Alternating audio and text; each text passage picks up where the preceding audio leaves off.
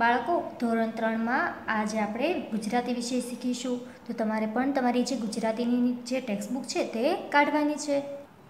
ગુજરાતી ગ્રાફલકો છેલ્લા વિડીયોમાં તમે જે આપણું ચેપ્ટર નંબર નવ છે, મોટો વિરામ, એટલે કે રિસેસ તે શીખ્યા છો.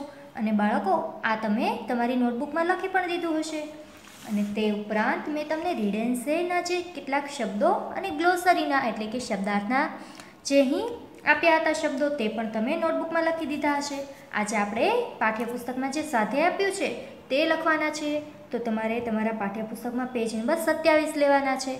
ત્યાં તમને આપ્યું છે સ્વાધ્યાય. અને તેનો પ્રશ્ન અ છે. પ્રશ્નના એક વાક્યમાં ઉત્તર લખો.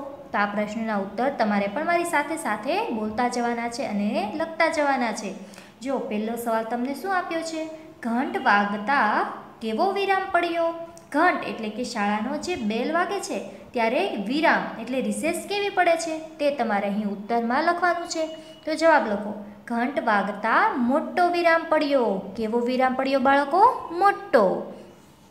એ જવાબ લખાઈ જાય ત્યારે છેલ્લે પૂર્ણ વિરામ અને નંબર બે જુઓ. કવિતા શું લાવી છે? કવિતા નાસ્તામાં શું લઈને આવી હતી? સેન્ડવિચ.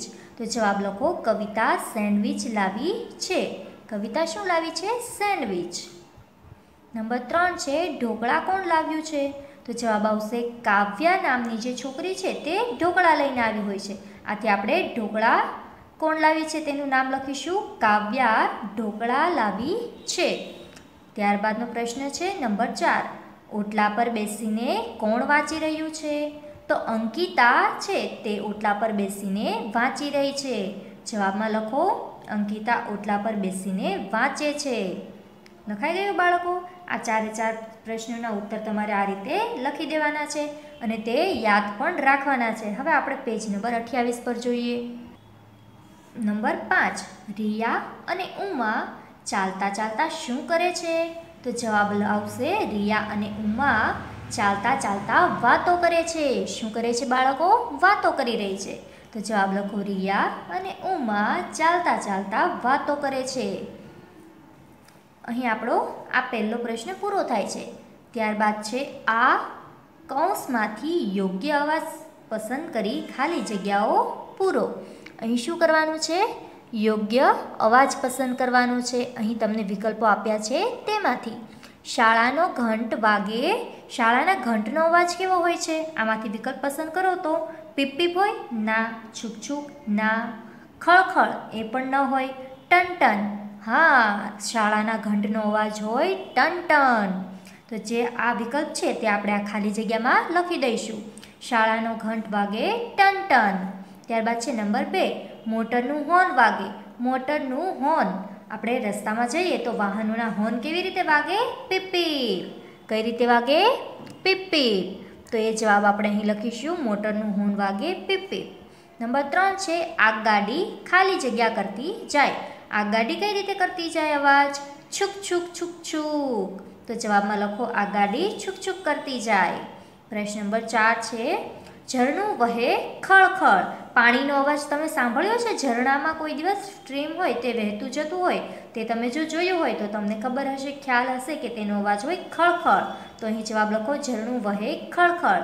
નળ ટપકે. નળ ટપકવાનો અવાજ તો તમને બધાને જ ખબર છે, તે છે ટપ ટપ. જ્યારે નળ થોડો ખુલ્લો રહી ગયો હોય તો તેમાં જે અવાજ આવે પાણીનો ટીપા પડતો તે તે છે ટપ ટપ. તો અહીં જવાબમાં લખી દો. આ રીતે આપણે ખાલી જગ્યાઓ પૂરી કરી એકથી પાંચ.